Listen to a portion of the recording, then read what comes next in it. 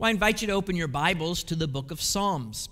In fact, I urge you to put a bookmark in the book of Psalms and dwell in the book of Psalms each day while we're, many of us are shut in or more isolated than ordinary. Uh, the Psalms are the prayer book and the song book of God's people. It's a collection of these praises and prayers and songs, 150 of them to be exact, over many centuries, gathered by the Old Testament people of God and particularly enjoyed by the early church. Today we read Psalm 127, which is one of a number of songs of ascents. And so I'll read it out loud and ask you to follow along.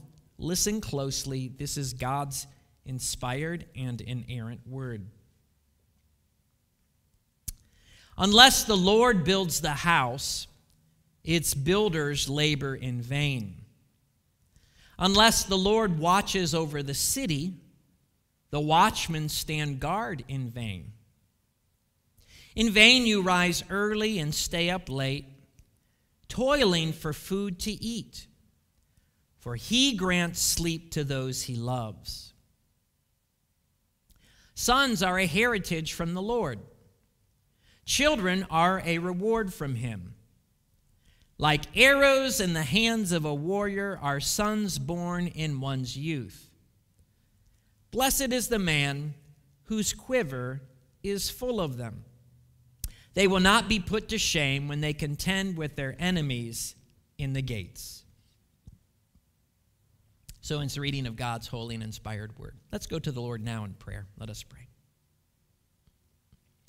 O Lord, open our eyes that we may behold wondrous things from your word. Soften our hearts, make us teachable, give us zeal to hear and heed and practice your word. Bless us now this coming week as many will face toil and labor, some at unprecedented levels, while others will be still and will wait. Thank you, O Lord, for hearing our prayer. We pray this in Jesus' name. And let us all say, Amen. Well, don't you just hate to spin your wheels? Have you ever gone on a wild goose chase? It's easy to spend a lot of energy accomplishing almost nothing. And so I guess that's the reason why people call it the daily grind. Or maybe you've heard the nine to five, or another day, another dollar. Sometimes life seems so vain, and work seems empty. Maybe you've thought about it. We work, we eat, we drink, we sleep, and then we get up in the morning and we do it again. Can the circle ever be broken? Well, here's good news. Psalm 127 says, yes, the circle can be broken. Now, this psalm was written by someone who knows a lot about vanity. Look at the title of our psalm. The title of our psalm is A Song of Ascents of Solomon. Solomon was the third king of Israel. In his day, Solomon was the wisest man on earth, as well as the most foolish. In his day, he was a workhorse. He was one of those Renaissance guys you read about in ancient history. Look at all he accomplished. Solomon constructed the first temple in Jerusalem. This was a seven year project and it was one of the seven ancient wonders of the world. He also built a majestic palace, gardens, roads, government buildings. He gathered thousands of horses and thousands of chariots, and after using them to win the peace, he built up trade. He acquired wealth. He was also a diplomat. He made peace treaties and alliances. And in his spare time, he was a poet a prolific writer, as well as a scientist in his own right. His skill in architecture and leadership turned Jerusalem into a showcase city in the ancient Near East, and foreign dignitaries came to view it with their own eyes. Not only did this man have a successful career, this man was a family man, if you want to call it that. Solomon had 700 wives and 300 concubines. This man built a family dynasty. But after, toward the end of his life, as he surveyed all he had done in his career and in his family life, this old wise fool wrote the inspired word of Ecclesiastes 1, verse 2 and 3. Vanity of vanities, all is vanity. What profit hath a man of all his labor which he had taken under the sun. You know, those words are very ancient, and they are strikingly contemporary. For even God's people, when we are on pilgrimage to God, on journey to God, to follow the living God, when we're on that journey every so often, we might find ourselves pausing on the journey to catch our breath and wonder is there any meaning to all of the labors of this travel under the sun? You know, Solomon knew, even in his day, that work was an essential component in society and even though it's essential, it can still be a disaster. One giant disaster, our work lives. One of the earliest examples in the Bible of a work life turned disaster is the Tower of Babel. The Tower of Babel was nothing but an ancient on the job injury that OSHA should have stopped. You see, rather than build a building that united, this ancient building project did nothing but divide and shatter and garble human history. You know, the Bible teaches that work, even hard work, can go wrong. Whenever our work deifies people, and whenever our work divides us from our neighbors, it picks up exactly where Babel left off. So, my question tonight is can weary people beat the daily grind? Can fallen creatures like me and you ever stop spinning our wheels when it comes to work? Well, tonight's answer is yes, with one caveat if you do it for God. When you do it for God. This brings us to our first point tonight on the job for God. On the job for God. Uh, open your Bible, keep it open, follow along. I'll read verse 1. Unless the Lord builds the house, the builders labor in vain. Unless the Lord watches over the city, the watchmen stand guard in vain. Now, two kinds of work are mentioned in this psalm. Now, I know the ACT Career Finder says there's more than two kinds of jobs. And if you're a teenager right now taking the ACT, I don't know what they're doing this spring with all of the problems, but if you're taking it, good for you. I hope you can figure out uh, one of, according to the ACT, one of your four kinds of jobs. There are people who like to work with people, to work with data, to work with ideas, and to work with things. Four nice qualities. But here in Psalm 127, our psalm talks about two kinds of jobs launching something new and guarding something old. John Stott helpfully points out in his commentary something fascinating. He says this It is useless to launch a new enterprise, that is, build a house or attempt to guard an old enterprise, that is, watch your city, unless the Lord blesses your work. You know, it doesn't matter whether you're a pioneer or a settler, whether you're an entrepreneur or just an employee, Whether you're an inventor or an imitator, do your job for God or you will spin your wheels. If on the job you leave out God, all is vain and useless. Building is vain. Watching is useless. You will experience what is described by the Latin motto, Nisi Dominus Frustra. That Latin phrase is the city motto of Edinburgh, Scotland, found on its crest. Stamped on all its official literature, it means, without the Lord, frustration. Ben Franklin was an American printer, author, diplomat, philosopher, scientist, another one of those Renaissance guys of two to three hundred years ago.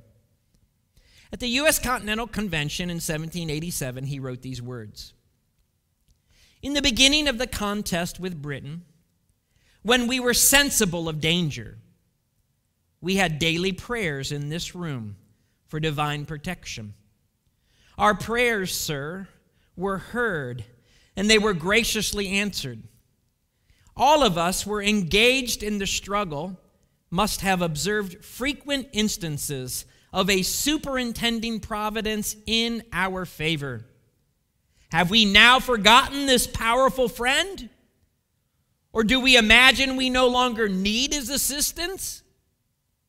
I have lived, sir, a long time, and the longer I live, the more convincing proofs I see of this truth that God governs in the affairs of man.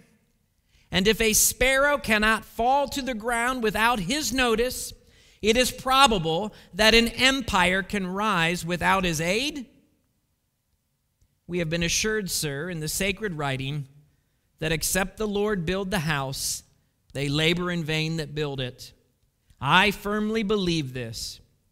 I therefore beg leave to move that henceforth prayers imploring the assistance of heaven and its blessings on our deliberations be held in this assembly every morning.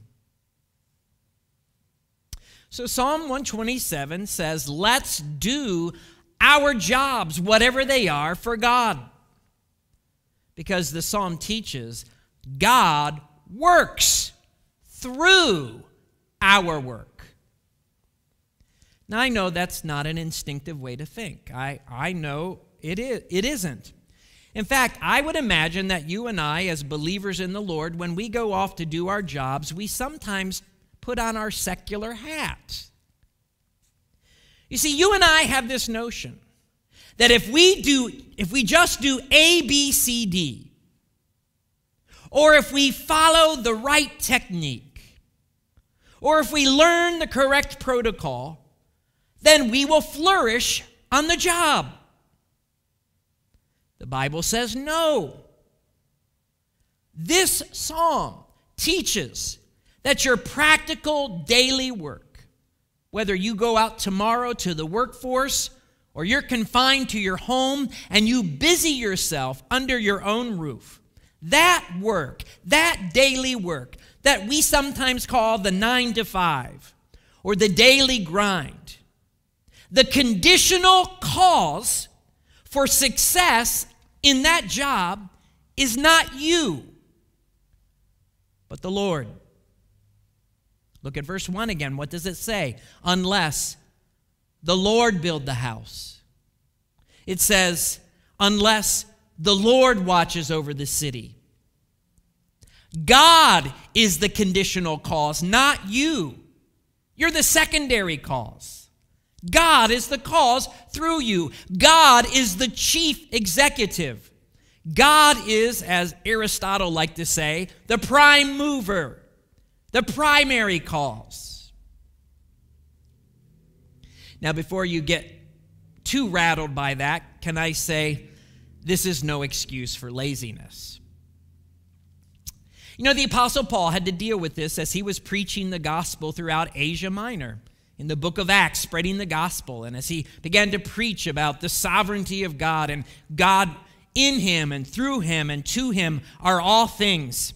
Well, some of the early believers, especially in ancient Thessalonica, thought that since God does everything for us in Christ, There's nothing for us to do. And so in ancient Thessalonica, Paul learned that Christians were sitting around. They were doing nothing. They were waiting for the Lord's return. And so Paul saw them living by faith, by being freeloaders, and living off the goodwill and handouts of their industrious neighbors. And so Paul wrote in Second Thessalonians, Stop! Here's what he said literally Second Thessalonians 3 11 through 13. He writes, We hear that some among you are idle and disruptive. They are not busy, they are busybodies.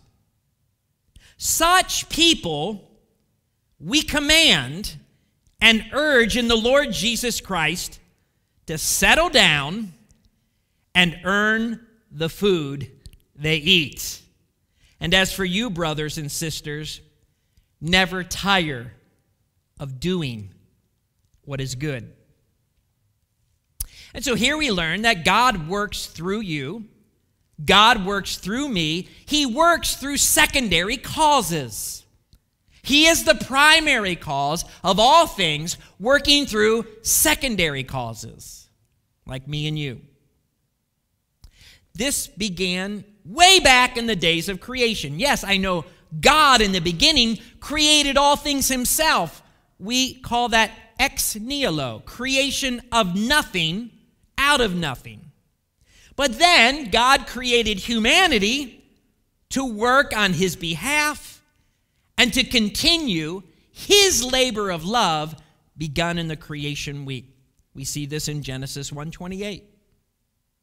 It says God blessed them and he said to them, Be fruitful and increase in number, fill the earth and subdue it, rule over the fish in the sea and the birds in the sky, and over every living creature that moves on the ground. Not only did God create work for you and I, but the Bible also says God created work and he made it meaningful. Every day in creation, look how God said it. God looked back at his work and said with great satisfaction, It is good. Every day that you and I work, at the end of the day and at the end of the week, imitating our God, we can look back and we can say, In Christ, it was good. Now, one of the great rewards of working for God is mentioned particularly here in Psalm 127. One of the greatest rewards for a job well done is a good night's sleep.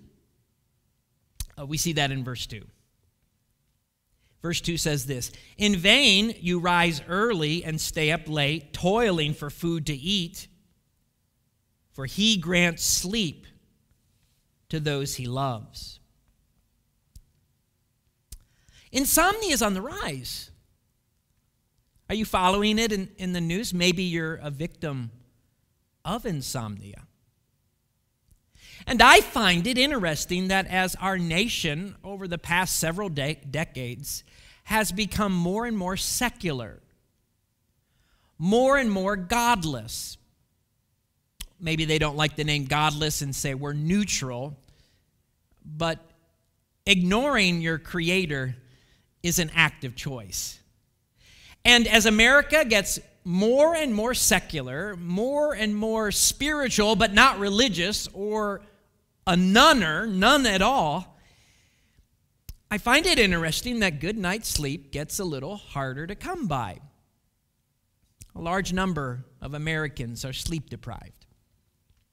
One CNN report put it this way it says, Fatigue is dangerous a growing collection of research indicates America's sleep problems have reached epidemic proportions and may be the country's number one health problem. We're not sleeping enough. Some of you are not sleeping enough. What happens, mom and dad, when the kids don't sleep well enough? What happens, anyone, when you don't sleep well enough? We are miserable. We're irritable.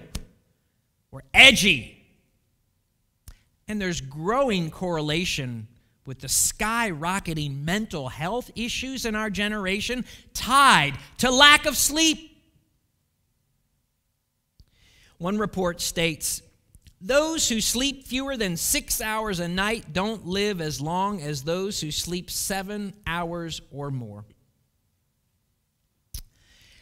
Dear church, one of the fruit, one of the fruits of a hard day's work, a good, satisfying, hard day's work done for God is when God grants you grace to lay your head on the pillow and fall asleep.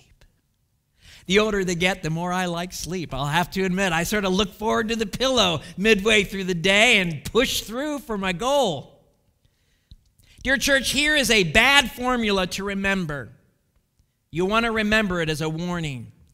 Frenetic work plus little sleep equals spinning your wheels. God grants sleep to those he loves. One reason is God himself enjoyed rest after the creation week, after his work week. Look at it in Genesis 2 2 and 3. It's just lovely. By the seventh day, God had finished the work he had been doing. So on the seventh day, he rested from all of his work. Then God blessed the seventh day and made it holy because on it he rested from all his work of creating that he had done. God delighted and chose to rest. That's one reason why it's such a blessing to rest and to get a good night's sleep. It's, it's one of the, the, the top five in life, a wonderful blessing. Rest. God will help you find it. It's His original.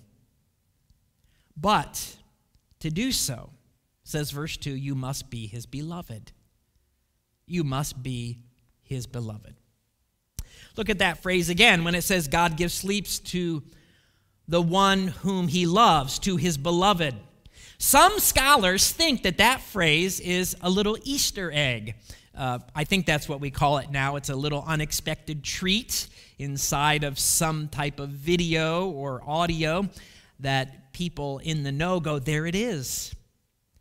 Well, there is a little treat there because some scholars believe that that phrase, the one whom God loves, is a hidden reference to Solomon, his hidden signature. A little bit like in the Gospel of John, where there's one disciple who's never named, but the writer of John calls him the disciple whom Jesus loved.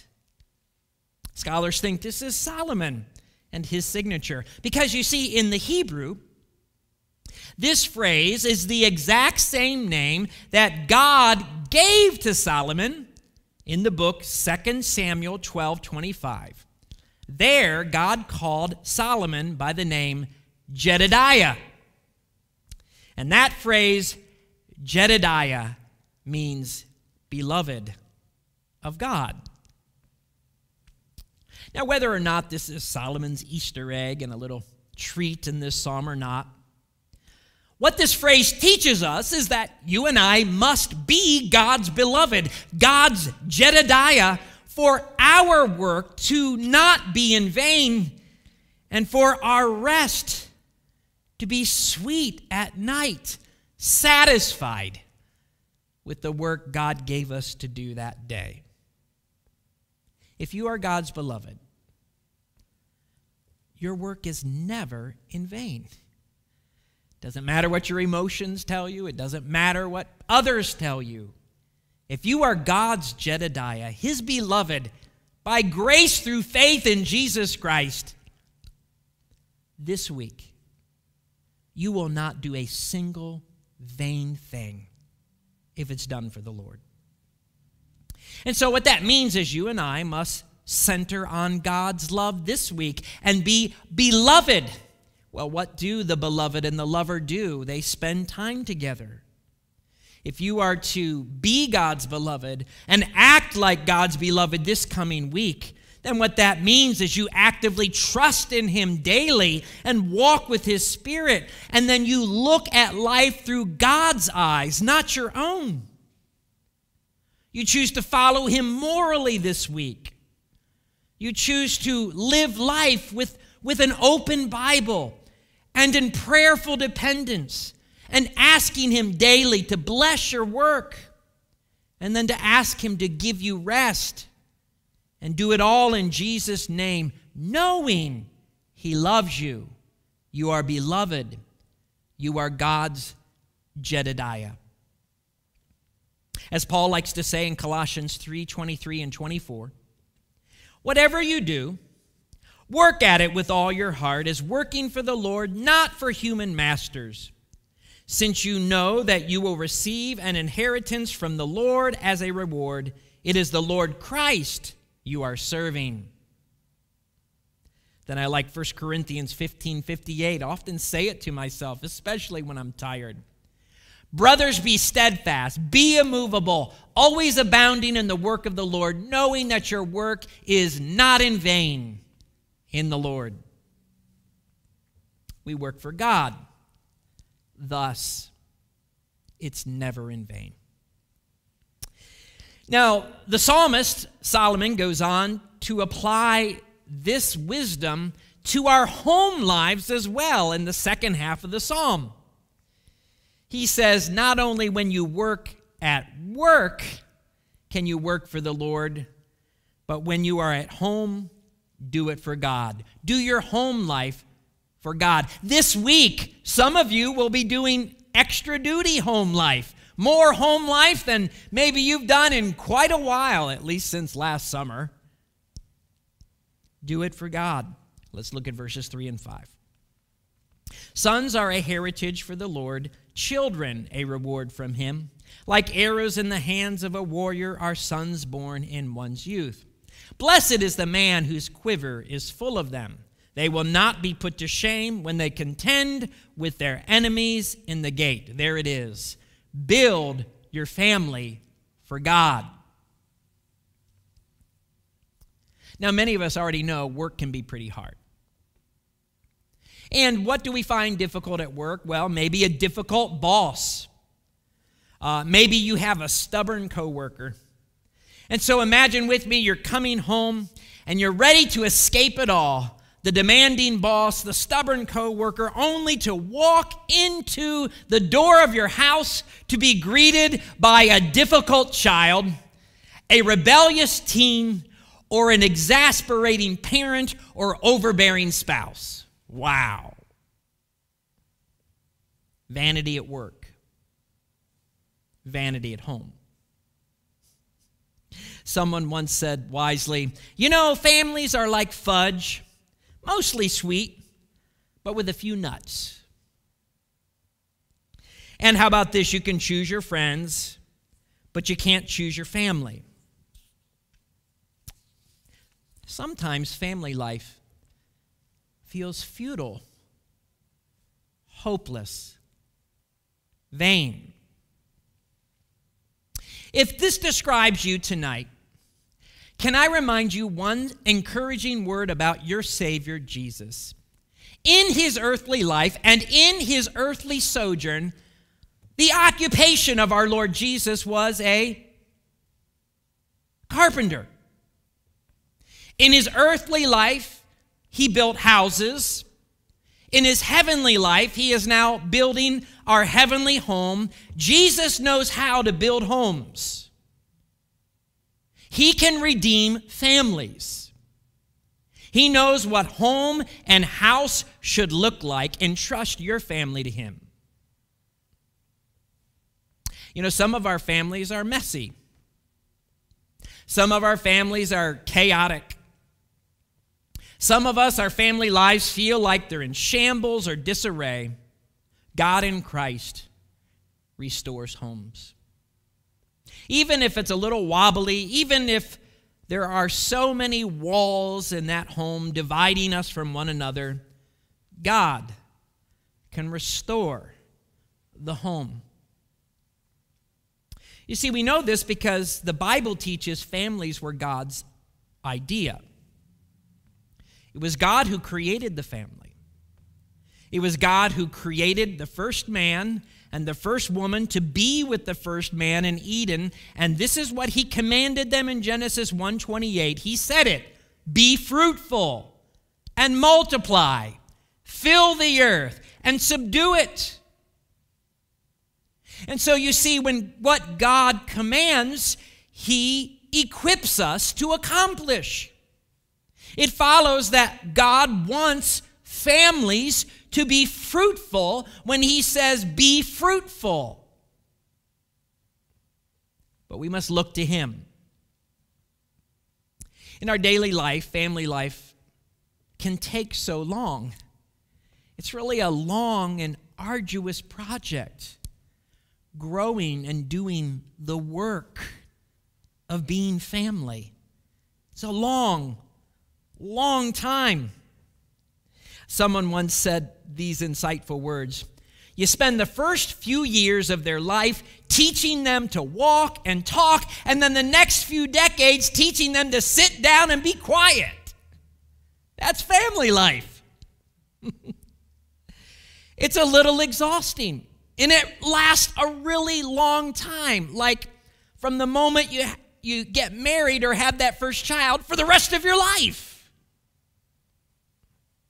And so I, I can understand why moms and dads with headaches go to the medicine closet and reach for the bottle of aspirin and they read the label and they say, Yes, it's true.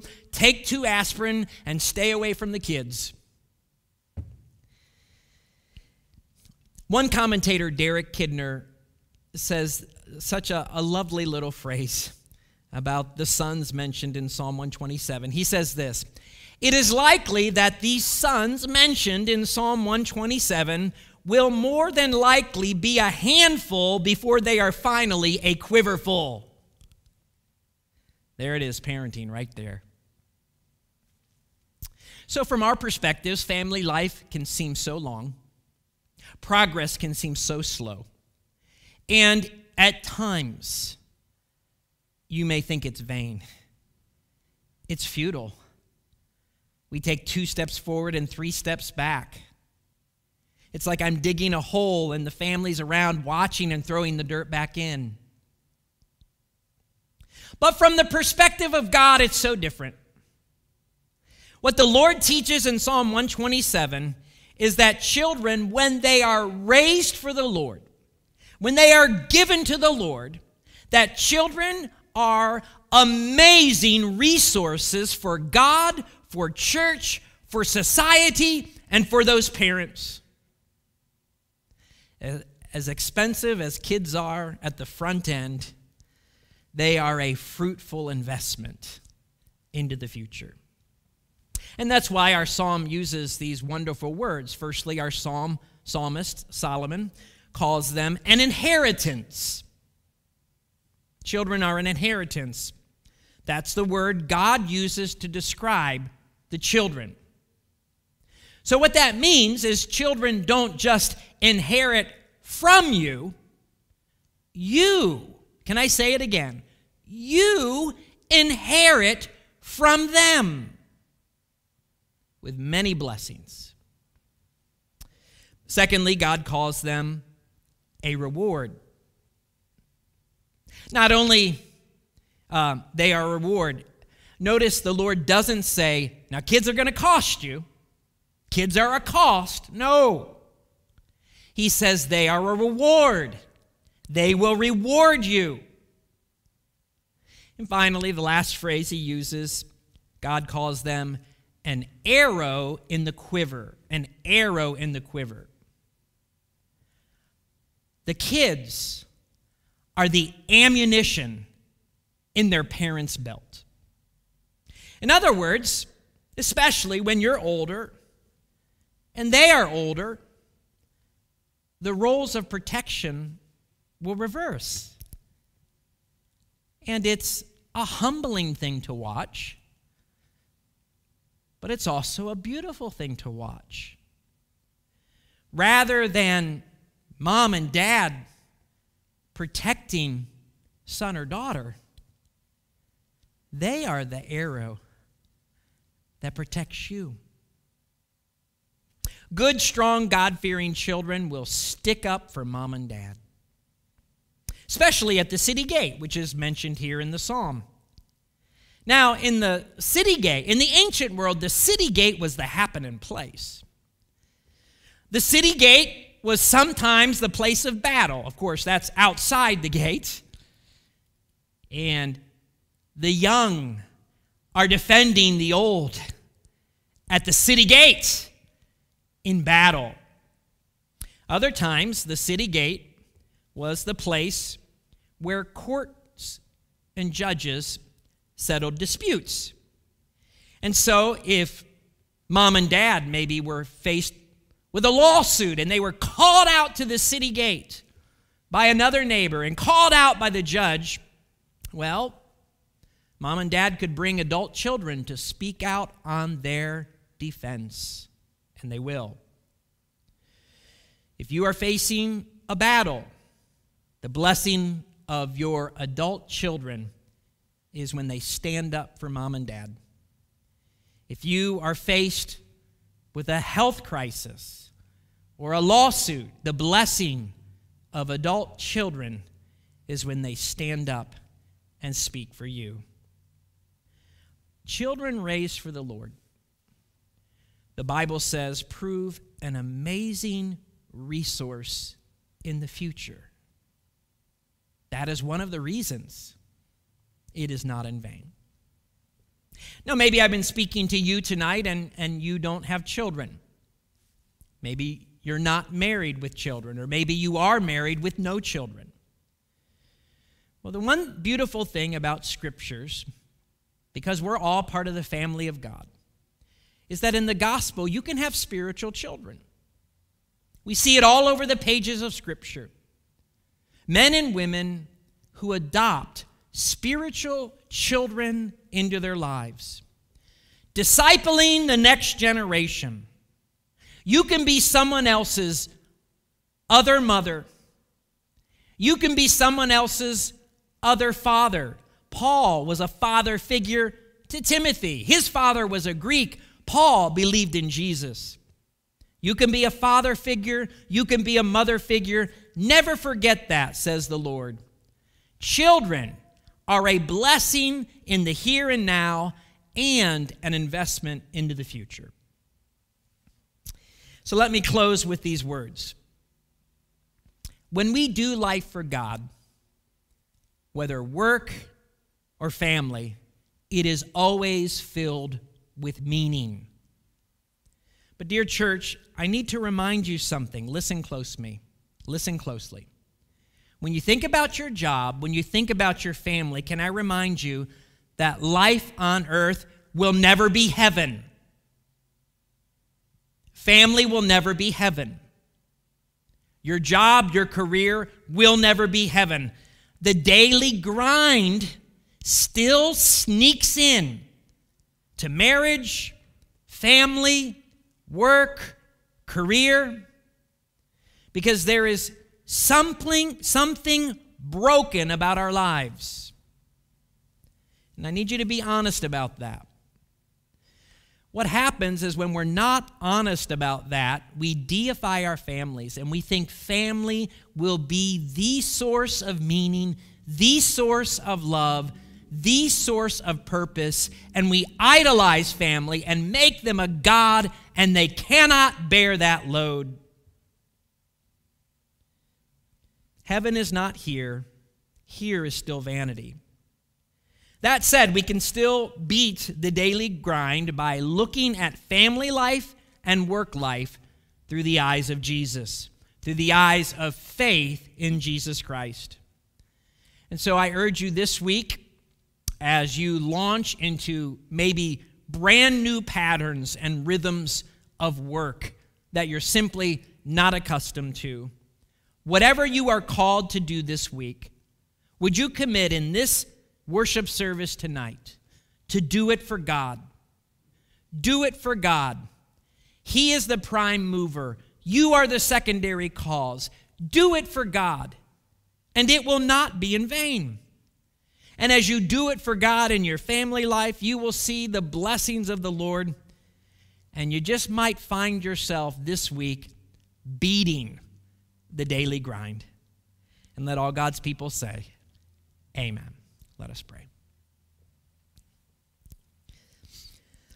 Heavenly Father, we thank you for your gift in creating all things and then asking us to labor in this life. Thank you for the pleasure of doing something engaging and intriguing and interesting for you in life. Pray for those this week who will launch out into their workplace or stay home in their workplace. We pray for those who will give care to the young and those who are young, receiving and sharing and caregiving at home. Oh Lord, we know that this week could be tedious for some. This week could be um, frustrating for some. And we ask that wherever we find ourselves, that we would focus upon you and that you are working through us, through our situation. Thank you, O Lord, for this hope that your word brings. We ask this all in Jesus' name. And let us agree vocally by saying, Amen.